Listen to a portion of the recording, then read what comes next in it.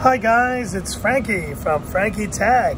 Good to see you guys again and just want to chime in for a moment on these this upcoming release on May 26th of the Redmi Note 10 Ultra. Now, you know, as if Xiaomi hadn't done enough, Redmi hadn't done enough, but now we have another release before the end of the month in this Redmi Note 10 Ultra. China release so far, but what do we know so far about this device? We have a Dimensity 1100 with a 5G chipset. That's going to be the key, the star of the show for this device.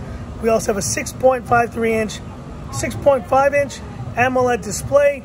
It should be nice, but honestly, guys, I wonder, this is the thing I'm wondering, how can they top the Redmi Note 10 Pro with that 120 hertz refresh rate? We need at least 120 hertz on this Ultra device, or else it's not an Ultra device.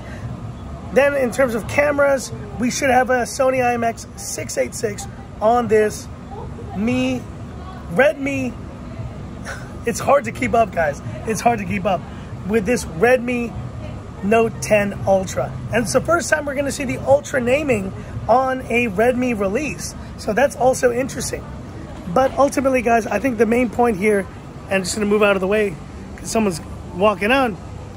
Ultimately, guys, the point is, what do you think about this phone? Is this a phone that you're excited about, or is this just one too many releases from Xiaomi that I just, I honestly cannot, I cannot keep up with it anymore. I do think that there's something good to be said about using the new Dimensity chipsets. And I do think also that Xiaomi is, is really starting to struggle with the chip shortage from Qualcomm to have to release a, a chipset, to use a chipset like the Dimensity that they cannot get, you know, Snapdragon chipsets in the quantity they need for the releases that they're releasing. And that is kind of concerning, to be honest, guys, because let's face it, I mean, Qualcomm does have a better reputation, but I'm curious to see how this Dimensity 1100 performs. And hit me up in the comments. Are you excited about this Redmi Note 10 Ultra? And guys, I don't even know if I'm going to review this one on the channel because let's face it, because it is MediaTek, it's likely to not have any Google apps on board. And so it's a no-go for me. I'm to have to wait for the global version of this phone. But of course, I'm sure there will be other channels that will review it and won't even tell you that it doesn't run Google Apps. I'm to tell you right now, it will likely not run Google Apps with this Redmi Note 10 Ultra China variant. But hit me up in the comments. Are you excited about this one? Or do you think it's like, meh, too many phones. I'm too tired of this. Xiaomi, go back to the drawing board.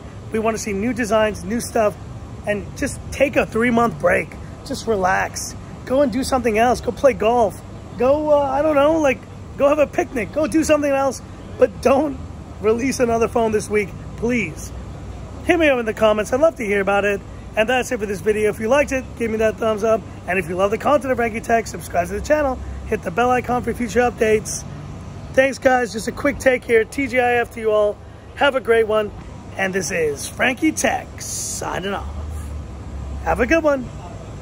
All right, back to the bar, baby.